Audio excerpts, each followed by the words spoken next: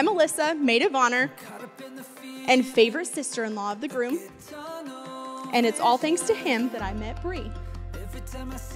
We've spent the last year and a half getting gains in the gym, eating chips and salsa to our heart's desire, and growing our friendship into something special. Samson, you found a good, godly woman and an even better friend. And what's even more special is she's a great addition to our family. I hope you spend the next 60 years cherishing one another and growing in your love of one another and in your relationship with God.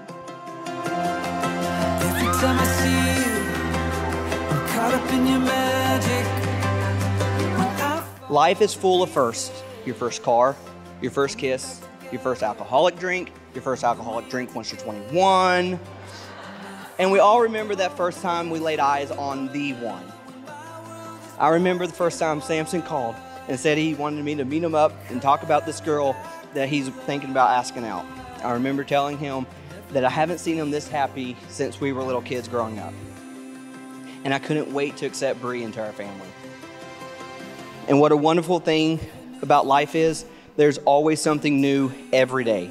Don't stop chasing that something. Make life memorable. I will never forget the first day that I saw you. It was on a Sunday morning sometime in early October, and immediately I couldn't take my eyes off of you. I have never known someone to love the way that you do. Everything you do, you always put me first. You love me unconditionally, flaws and all.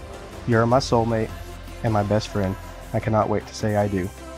The road ahead of us may be long, but I know with you by my side, we can accomplish anything. I love you.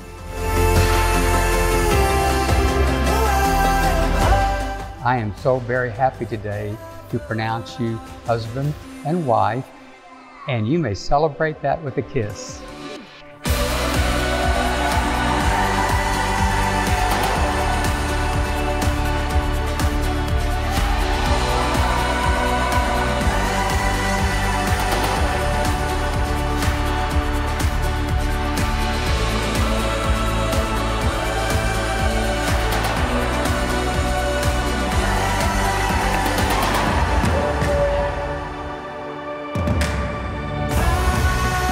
The key to marriage is not how much money you have and not how good looking you are. It's finding out what he needs and what she needs.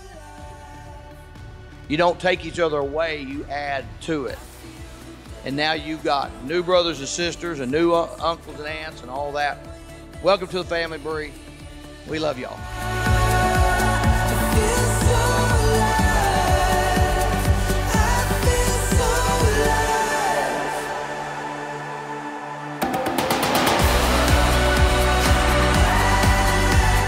Always put God first in your life.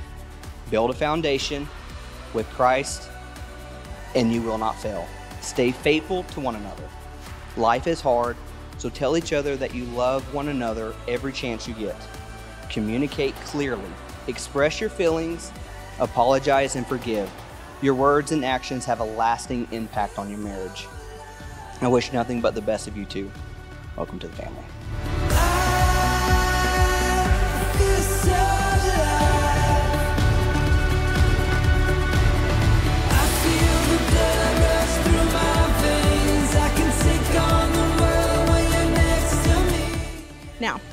Look one another in the eye.